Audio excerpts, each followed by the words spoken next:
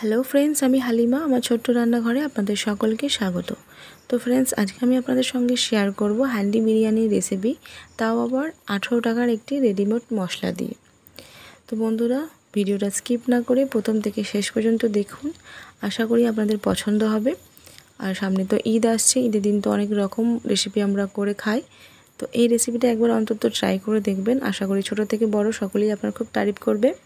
তো রেসিপিটা দেরি না করে চলুন দেখে নিন তার আগে বলে দিই রেসিপিটা ভালো লাগলে অবশ্যই ট্রাই করে আমায় কমেন্ট করে জানাবেন এবং সাবস্ক্রাইব করে পাশে থাকবেন এই ধরনের রেসিপিগুলো দেখার জন্য। আমি চেষ্টা করি সহজভাবে রেসিপিগুলো আপনাদের সঙ্গে শেয়ার করার সাথে মশলাগুলোরও। তো এখানে আমি দুই কিলো মতো চিকেন নিয়েছি রেসিপিটা বানানোর জন্য। চিকেনের পিসগুলো দেখুন, একটু বড় বড় সাইজে রেখে দিয়েছি। চিকেনটাকে প্রথমে আমরা ম্যারিনেট করব, তার জন্য আমি দুইশো গ্রাম মতো টক দই নিয়েছি, চার থেকে পাঁচ চামচ মতো দিয়েছি আদা রসুনের পেস্ট। আমি লবণ দিয়ে দিচ্ছি চার চামচ মতো। আমি এখানে যে চামচটা নিয়েছি, দুই চামচ পরিমাণের চামচটা নিয়েছিলাম। এখন দিয়েছি এক চামচ মতো হলুদ।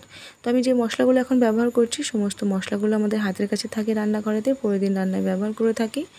দিয়ে দিলাম জিরে গুঁড়ো দুই চামচ, ধনে গুঁড়ো দুই চামচ, ঝালের জন্য দিয়ে দিচ্ছি লঙ্কার গুঁড়ো, সেটাও দুই চামচ। আর এখানে আমি দিয়ে দেবো একটু কাশ্মীরি লঙ্কার গুঁড়ো, তাও দিয়ে দিচ্ছি দুই চামচ। চামচটা দুই চামচ পরিমাণের চামচ। এখানে আমি নিয়েছি সর্ষের তেল, দুই চামচ করে চার চামচ দিয়ে দিচ্ছি। তো বন্ধুরা দেখতেই পেলেন, একদমই খুবই খুবই কম উপকরণ দিয়ে আমি বানাচ্ছি রেসিপিটা। আর এই মশলাগুলো আমি একবারই দিয়ে দিচ্ছি, এরপরে আমি কিন্তু কোনো মশলা ব্যবহার করব না। ম্যারিনেট করার সময়তেই আমি মশলাগুলো ইউজ করছি। আর এখানে আমি দেখুন যে রেডিমেড মশলাটা নিয়েছি, সেটা হচ্ছে কুকমির হান্ডি বিরিয়ানি মশলা। তো বন্ধুরা, এই মশলাটা খুবই ভালো একটা মশলা। আমি একদম ছোট্ট একটা প্যাকেট পেয়েছিলাম, আঠারো টাকা দিয়ে দাম নিয়েছিল। তো একটা আমি নিয়ে এসে ইউজ করেছি, আমার খুব ভালো লেগেছে। তারপর আমি আপনাদের সঙ্গে শেয়ার করছি, দেখুন। এখানে আমি একটা প্যাকেট থেকে তিন চামচ মতো মশলা পেয়েছি। তো আমরা এখানে ছয় চামচ মতো ব্যবহার করছি মানে দুই প্যাকেট মতো এখানে আমরা ব্যবহার করছি দুই কিলো চিকেনের জন্য। তো মশলাটা দেওয়া হয়ে গেছে, আমি খুব ভালো করে ম্যারিনেট করে রেখে দিচ্ছি। দুই থেকে তিন ঘণ্টা অথবা ওভারনাইটও রাখতে পারেন। এখানে আমি নিয়েছি দেড় কিলো মতো বিরিয়ানি রাইস। বিরিয়ানি রাইসটা ভালো করে ধুয়ে আমি এটা ধুয়ে রেখে মানে জল দিয়ে ভিজিয়ে রেখে দেব দুই থেকে তিন ঘণ্টা মতো। তো রাইসটাকে প্রথমে ভালো করে ধুয়ে নেওয়াটা খুবই প্রয়োজন। পরে কিন্তু ভিজানোর পর ধোয়া যায় না, যেহেতু চালগুলো ভেঙে যায় সেই কারণে। তো এখানে আমি বিরিয়ানিতে দেবো আলু, আপনারা চাইলে দিতে পারেন, স্কিপ করতে পারেন। তো এখানে আমি আলুগুলো দেখুন বেশ বড় বড় করে কেটে নিয়েছি। আলুটাকে আমরা প্রথমে বয়েল করব। তো আলুটাকে বয়েল করার জন্য এর মধ্যে আমি দিয়ে দিচ্ছি এক চামচ মতো আদা রসুনের পেস্ট দিয়ে দিচ্ছি। সেম বিরিয়ানি মশলা হাফ চামচ মতো দিয়ে দিচ্ছি হলুদের গুঁড়ো হাফ চামচ মতো দিয়ে দিচ্ছি লবণ দেড় চামচ মতো। তো বন্ধুরা, আমরা প্রথমে আলুটাকে একটু বয়েল করে নেব। আপনারা চাইলে হলুদের পরিবর্তে ফুড কালারও দিতে পারেন। তো দেখুন, এখানে আলুগুলো আমার সেভেন্টি পার্সেন্ট মতো বয়েল হয়ে গেছে। তো তারপর গ্যাসের ওপরটা বড়ো সড়ো পাত্র নিয়ে নিয়েছি, যার মধ্যে আমরা চিকেনটাকে এবার কুক করব। তো বন্ধুরা, এখানে আমি সাদা তেল দিচ্ছি। তো তেলটা আমি একবারেই দিয়ে দিচ্ছি। এখানে আমি তিনশো থেকে চারশো গ্রাম মতো তেল তেল নিয়েছিলাম। তো এখানে পাঁচশো গ্রাম মতো পেঁয়াজ একটু কুচি কুচি করে কেটে নিয়েছি। তো তেলটা গরম হয়ে যাওয়ার পর প্রথমে আমরা পেঁয়াজটাকে একটু ফ্রাই করে নেব। তো সুন্দর করে প্রাইসটা ফ্রাই করা হয়ে গেছে। আমি খুব বেশি ক্রিস্পি করি না কারণ আমার খুব বেশি ক্রিস্পি করাটা খুব একটা পছন্দ হয় না। একটু বেশ নরম নরম হলেই আমার মনে হয় বেশ ভালো লাগে খেতে, তবে আপনারা আপনাদের পছন্দ অনুযায়ী করে নিতে পারেন। তো সমস্ত পেঁয়াজ ভাজাটা আমি তুলে নিয়েছি। এবার সেম তেলের মধ্যে আমি দিয়ে দিচ্ছি চিকেনগুলো তো চিকেনগুলো একে একে দিয়ে আমি একটু চিকেনগুলোকে একটু ফ্রাই করে নেব। তো চিকেনগুলো আমি ফ্রাই করে নিয়েছি, এবার আমি তুলে নিচ্ছি। আবারও সেম তেলের মধ্যে আমি যে আগের থেকে আলুগুলো বয়েল করে রেখে দিয়েছিলাম, সেই আলুগুলো একটু ফ্রাই করে নেব। তো আলুগুলো আমার ফ্রাই করা হয়ে গেছে। আলুগুলো ফ্রাই করলে একটু খেতেও ভালো লাগে, দেখতেও ভালো লাগে। তো ফ্রাই করে নেওয়ার পর আমি সেম তেলেতে আবারও দিয়ে দিচ্ছি যে ম্যারিনেট করে রেখে দিয়েছিলাম মাংসটা। সেই মাংসের যে মশলাগুলো ছিল, সেই মশলাটা প্লাস অর্ধেকটুকু পেঁয়াজ ভাজা বা ফ্রাই করে রাখা পেঁয়াজটা। তো দিয়ে দিচ্ছি এক কাপ মতো জল, তাও আবার কিনা যে বোলটায় আমি ম্যারিনেট করে রেখে দিয়েছিলাম মাংসটা, সেই বোলটাই আমি ধুয়ে দিয়ে দিলাম। তো মশলাটাকে খুব ভালো করে কষিয়ে নিয়েছি। এর মধ্যে আমি দিয়ে দিচ্ছি দুই চামচ মতো চিনি। চিনিটা দিলে সুন্দর একটা কালার হয়, প্লাস আমার মনে হয় খেতে ভালো লাগে, তবে আপনারা চাইলে স্কিপ করতে পারেন।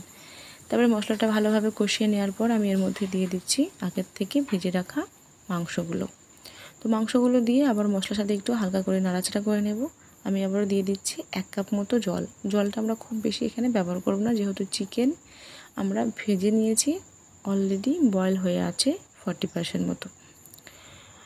তো এখানে দেখুন, বেশ ফুটে গেছে, আমি ঢাকা দিয়ে রেখে দিয়েছিলাম। তারপর আমি ভেজে রাখা আলুগুলোর মধ্যে দিয়ে দিচ্ছি, আবার একটু হালকা করে নাড়াচাড়া করে নেব। গ্যাসের ফ্লেমটা লো টু মিডিয়াম রেখে দুই মিনিট মতো একটু বসিয়ে রেখে দেবো ঢাকা দিয়ে। তারপর এখানে আমি রাইসটাকে কুক করে নিচ্ছি। রাইসটা কুক করার জন্য একটা বড় সড়ো পাত্রে নিয়ে নিয়েছি জল। জলটা একটু বেশি করে নিতে হবে বিরিয়ানি রাইসটা বানানোর জন্য। আমি দিয়ে দিয়েছি তেজপাতা দু থেকে তিনটে মতো। দিয়ে দিচ্ছি গোটা গরম মশলা সাহাজিরা দিয়ে দিলাম লবণ আর দিয়ে দিচ্ছি পুদিনা পাতা। তো জলটা বেশ ভালো করে ফুটে গেছে। সুন্দর একটা কালার প্লাস ফ্লেভারও পাওয়া যাবে। তো তারপরে আমি ভিজিয়ে রাখা রাইসটাকে দিয়ে দিচ্ছি। অবশ্যই জলটা ফুটে যাওয়ার পর রাইসটাকে দেবেন। তো রাইসটাকে আমি দিয়ে দিয়েছি। তো রাইসটা দিয়ে একটু নাড়াচাড়া করে রেখে দেবো। ফুটে আসা পর্যন্ত, ফুটে আসার পর পাঁচ থেকে দশ মিনিট মতো একটু কুক করে নেব। তাহলে সিক্সটি থেকে সেভেন্টি পার্সেন্ট মতো কুক হয়ে যাবে।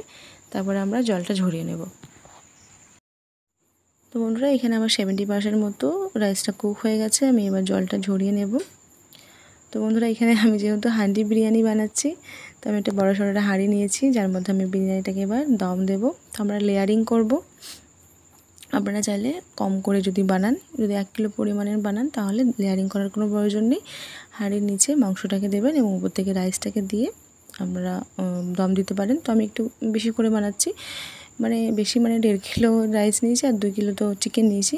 তো সেই অনুযায়ী আমি একটু লেয়ারিং করছি। তো প্রথমে আমি চিকেনটাকে রাখলাম, তারপরে আমি দিয়ে দিলাম রাইস দিয়ে দিচ্ছি। তো লেয়ারিংটা আপনারা আপনাদের পছন্দ মতো করে দিয়ে নিতে পারেন, কোনো সমস্যা নেই। তো আমি রাইসটা দিলাম, এবার আমি এর মধ্যে দিয়ে দেবো আগের থেকে যে পেঁয়াজটা ফ্রাই করে রেখে দিয়েছিলাম, সেই পেঁয়াজটা একটু দিয়ে দিচ্ছি। আর দিয়ে দেবো পুদিনা পাতা কুচি ধনে পাতা কুচি। একটু দিয়ে দিচ্ছি দেশি ঘি। একটু টেস্ট প্লাস ফ্লেভারটা খুব ভালো আসবে। তো বন্ধুরা, আমি আগেও আপনাদের বলেছি যে মশলাটা আমি ব্যবহার করছি রেডিমেড মশলাটা। এই মশলাটা ব্যবহার করলে আলাদা করে কোনো ফ্লেভার ব্যবহার করার কোনো প্রয়োজন নেই। তো এই মশলাটার খুবই খুবই খুবই সুন্দর একটা ফ্লেভার আছে, তো ফ্লেভার আপনারা ব্যবহার করবেন না। তো তারপর আমি এই যে মশলাটা আছে, মশলাটা আমি দিয়ে দিচ্ছি। সেই মশলাটাই আমি দিয়ে দিলাম একটু। আবারও আমি দিয়ে দিচ্ছি রাইস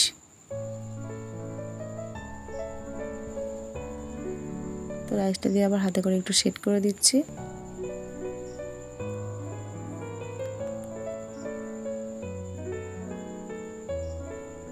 আবার দিয়ে দিচ্ছি ভেজে রাখা পেঁয়াজ ধনে পাতা পুদিনা পাতা কুচি। দিয়ে দিলাম চিকেনটা। আবার দিয়ে দিচ্ছি রাইস। আবারও চিকেন দিয়ে দিচ্ছি। দিয়ে দিচ্ছি পেঁয়াজ ভাজা ধনে পাতা পুদিনা পাতা কুচি আর দিয়ে দিচ্ছি ঘি আর দিয়ে দিলাম বিরিয়ানি মশলাটা। তো বন্ধুরা, আমি বারবার বলছি, আমি এখানে কিন্তু কোনো ফ্লেভার ব্যবহার করছি না। যেহেতু মশলাটা খুবই সুন্দর ফ্লেভার আছে কালারও ব্যবহার করব না, যেহেতু আমরা চিকেনটাকে বেশ কালারফুল করেছি, হলুদ, লঙ্কা টঙ্কা দিয়ে, তো কালারফুল করা হয়ে গেছে, তারপরে আমি আর কোনো কালার এখানে ইউজ করছি না, আপনারা তাইলে করতে পারেন। তো আমি এখানে গ্যাসের উপর একটা তাওয়া রেখেছি, তাওয়াটা রেখে আমি হাইটা বসিয়ে রেখে দিয়েছিলাম, প্রায় কুড়ি মিনিট মতো লো ফ্লেমে তো দম দেওয়ার পর আমি এবার দমটা খুলেছি। দেখুন, আমি একটু আবার মিক্স করে নিয়েছি একটা ছোটো মতো প্লেট নিয়ে। তো বন্ধুরা দেখতে পেলেন কতটা সহজভাবে বানালাম। বন্ধুরা, এই রেসিপিটা একবার অন্তত ট্রাই করে দেখেন। এই মশলাটা দিয়ে আমি কোনো প্রমোশন ভিডিও বা অ্যাড দিচ্ছি না। তো আমি নিজে ব্যবহার করেছি, খুবই ভালো। আমি স্যাটিসফাই হওয়ার পরেই আপনাদের সঙ্গে শেয়ার করছি। তো অবশ্যই একবার ট্রাই করে আমায় কমেন্ট করে জানাবেন আপনাদের কেমন লেগেছে। আর এই মশলাটা আপনারা সুপার মার্কেটে পেয়ে যাবেন বা অনলাইনেও দেখতে পারেন। তো বন্ধুরা, সামনে তো কয়েকদিন পর ঈদ আসছে। একবার ট্রাই করে দেখুন। আশা করি স্যাটিসফাই হবেন। ভালো লাগলে অবশ্যই লাইক করবেন শেয়ার করবেন।